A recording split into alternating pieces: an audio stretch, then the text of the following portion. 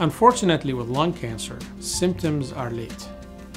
You know, cough is a very common but very non-specific symptom. So not everybody who coughs has a cancer, right? And so you really can't base a lot of stuff on that. And a small nodule at a point where we can still cure this cancer, when it's a small nodule about half an inch or less, less let's say, you're not going to feel that one. That is just silently growing.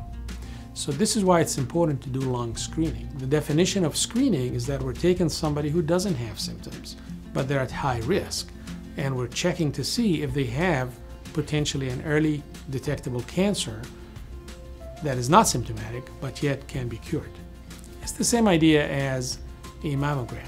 Not everybody feels a lump in their breast, but we're doing mammograms at a regular interval so that we can catch those lumps before they're even palpable, right? The whole point is to catch it early, before it becomes obvious.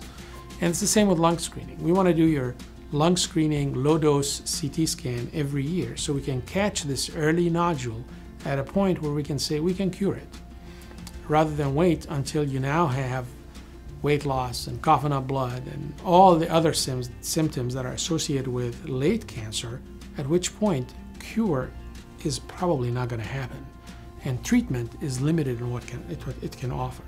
The key, don't smoke to begin with, but also detection early. So if you're a smoker and you meet the criteria, lung screening with a low-dose CT scan is currently what we're recommending.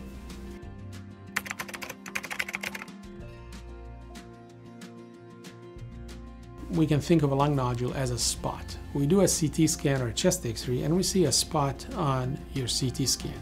Just looking at it doesn't tell us if it's cancer or not. There are things that make us think it's cancer and there are calculators that we can look at and say, well, the percentage of this being a cancer is high. For example, the bigger it is, the older you are, if you're a smoker, if you're male, depending on the position it's in, all these things can tell us, oh yeah, this is likely a cancer, but it doesn't tell us it's a cancer. Until we take a piece of it, we don't know for sure. Now, a fungal infection can also cause a lung nodule.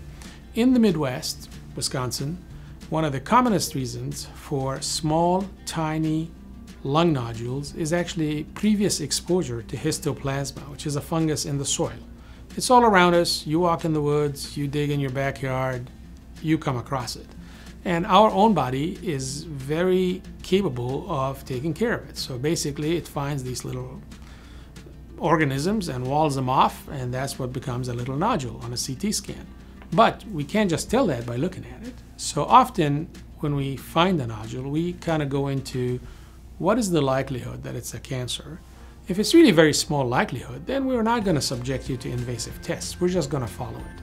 But if it's pretty likely, then we are going after it to try and prove it or potentially even just take it out.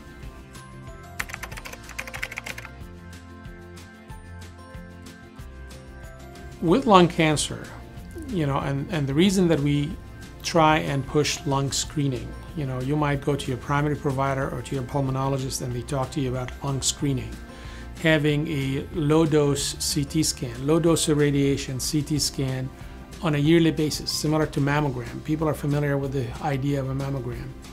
And the whole idea there is that we want to detect these spots or these nodules when they're really small.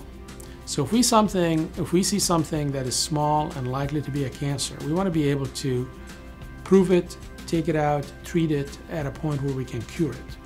And if we can take a very early stage lung cancer, cure can reach close to 100% if we get it early enough.